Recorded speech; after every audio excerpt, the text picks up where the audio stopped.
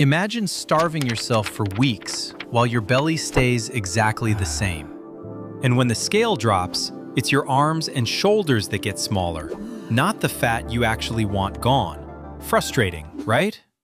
What if I told you almost everyone doing everything right is sabotaging fat loss without even knowing it? Today, I'm going to fix that. But first, there's one missing step almost no one talks about. It's not cardio versus weights, and it's not some magic pill. It's a hormone and a tiny breathing trick that flips your body from store mode to burn mode. I'll reveal it properly, but not yet. Stick with me because you'll want to hear this after the science piece. But to understand that final step, we need to start with what actually happens when your body tries to burn fat. Because most people have this part completely backwards. Think of fat like a locked pantry of fuel. To use that fuel, you need three things. A key that signals fat cells to open, oxygen to burn the fat, and an engine that uses the fuel, your muscles and organs. When your body burns fat, it breaks down and leaves as carbon dioxide and water. You literally breathe fat out. And this matters more than you think, which I'll show you soon. Now, let's move to the next part of the story. Why fat refuses to leave the places you actually want it gone from, especially the belly. Some areas have better blood flow and more beta receptors, the ones that release fat quickly. But belly fat has more alpha receptors, the stubborn locks that say, keep the fat right here. Genetics and hormones shape where fat clings the hardest. It's not your fault. It's biology. In a moment, I'll show you how to outsmart those stubborn receptors. But before that, there's one more roadblock we need to expose. The hormone that sits above everything else. Insulin.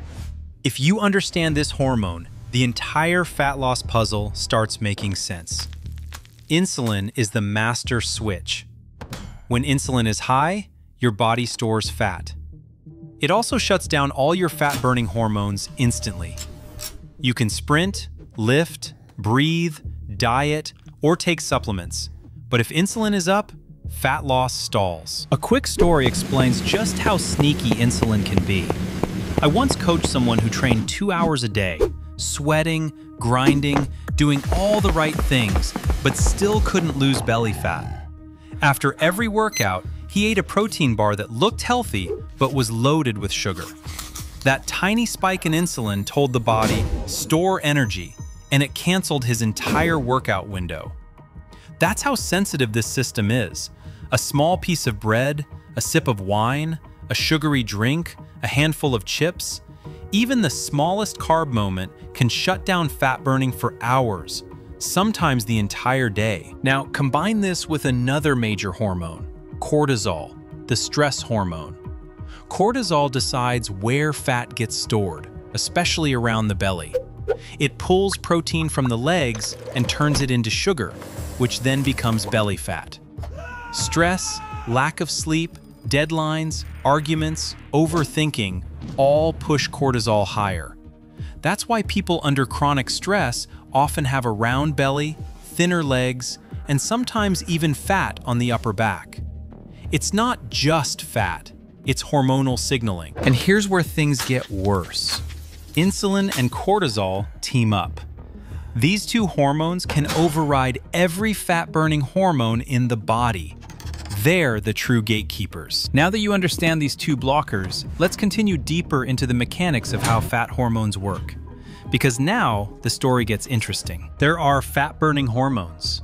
Growth hormone, IGF-1, testosterone, glucagon, adrenaline, thyroid hormones, but none of them can work when insulin is high.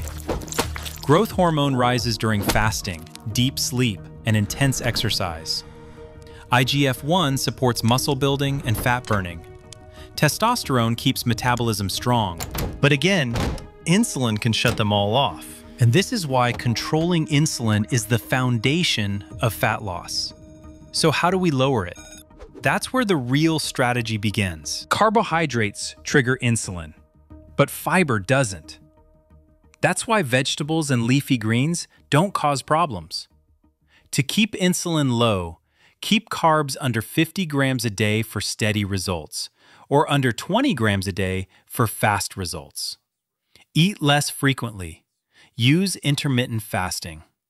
Because every time you eat, even protein, insulin rises. There's more. Seed oils quietly push insulin resistance. They're in fast food, bottled dressings, restaurant meals, packaged snacks. MSG also tricks the brain, making you hungrier an hour later. It doesn't just make food taste good, it increases cravings and pushes you to eat more often, keeping insulin elevated. Now add estrogen to the mix. Too much estrogen causes fat storage, especially in the lower body, hips, thighs, butt. Next, cortisol, the stress hormone. It pushes fat to the belly, especially when you're exhausted, overwhelmed, or sleep deprived. It pulls protein from your legs and converts it to sugar, which becomes belly fat. That's why reducing stress, getting sunlight, walking slowly, taking vitamin B1 and vitamin D, these things matter more than people realize. Let's finally bring exercise into the story, but in a way that actually makes sense. Cardio drains glycogen and creates an afterburn window, where your body aggressively burns fat to restore itself. But heavy cardio alone won't protect muscle. Strength training does that, preserving your metabolic engine so you burn more calories at rest. If you don't lift weights, your metabolism slows down over time. If you only do cardio, you risk burning muscle. The solution isn't one or the other, it's a strategic combination of both. And what about fasted workouts? Mm-hmm. Fasted low-intensity cardio, like morning walks, is perfect because insulin is naturally low after waking up. But fasted heavy lifting or sprints can backfire by triggering muscle loss. Now that we've reached this point, everything is in place to reveal the missing step I teased earlier the breathing trick that multiplies fat burning. Fat burning is oxidation. It literally requires oxygen. Deep, slow nasal breathing increases oxygen and fat oxidation. Before any workout or walk, sit tall, inhale through your nose for four seconds, hold for one, and exhale for six to eight seconds. Repeat this six times. This clears carbon dioxide and loads your body with oxygen, priming your cells for fat burning. Combine this with the right training sequence, and you get a powerful effect. Let's finally build your weekly plan, the one that actually uses all this science in the real world. Start Monday with high-intensity intervals, one-minute sprints followed by 90 seconds of rest, this rapidly drains glycogen and creates the biggest afterburn effect. Tuesday, do heavy strength training. Squats, deadlifts, rows, presses. Then finish with a slow 20-minute walk to force your body into fat-burning mode. Wednesday, steady state cardio, cycling, jogging, or brisk walking for 45 to 60 minutes. The final 15 minutes are where the fat burning magic happens. Thursday is active recovery, light walking, mobility drills, deep nasal breathing. Your job is to lower cortisol. Friday, another strength session, upper or lower split. Again, finish with a slow walk. Saturday, long duration cardio, 60 to 75 minutes. Keep it slow and steady.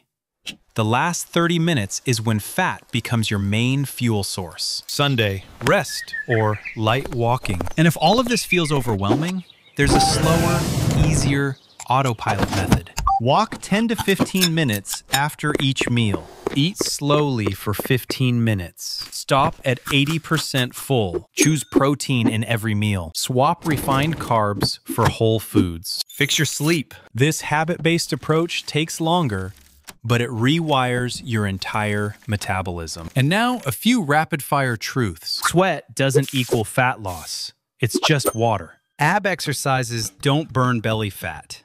That's a myth. Cardio alone won't get you lean. Strength protects your metabolism. A sugary snack can erase an entire day of progress.